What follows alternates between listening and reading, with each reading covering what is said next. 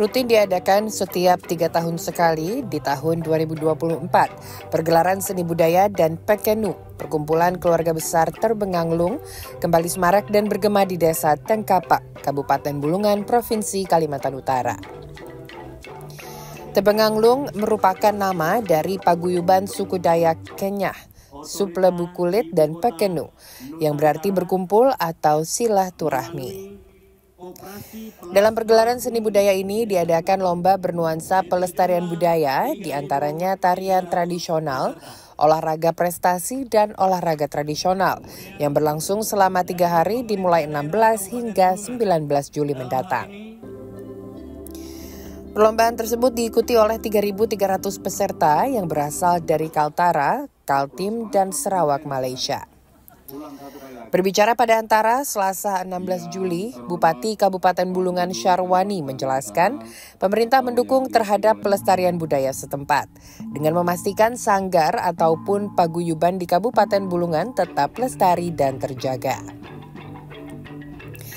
Diharapkan kegiatan ini dapat menjadi magnet bagi wisatawan domestik maupun mancanegara.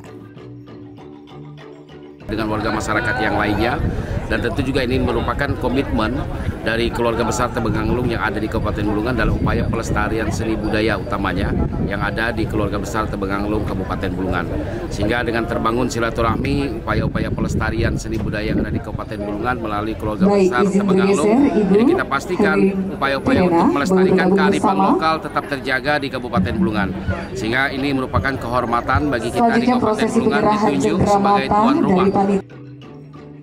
Hadir pada kegiatan ini Deputi Sosial Budaya dan Pemberdayaan Masyarakat Otorita Ibu Kota Nusantara (IKN) Alimudin mengapresiasi pelestarian budaya yang dimiliki Kaltara.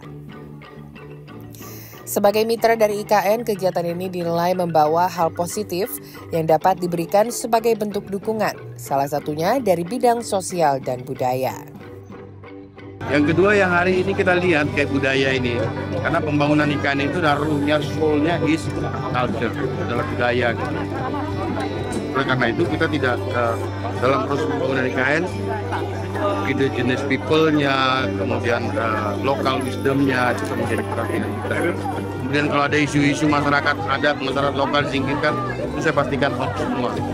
Justru mereka kita rawat, kita bina untuk keberlangsungan kearifan-kearifan dalam pagelaran ini dipertunjukkan juga tarian tradisional Jalin Tali dan tari masal yang diikuti oleh sekitar 300 orang penari dari suku Dayak Kenyah. Dari Tarakan, Kalimantan Utara, Cica Andriani, Kantor Berita Antara, mewartakan.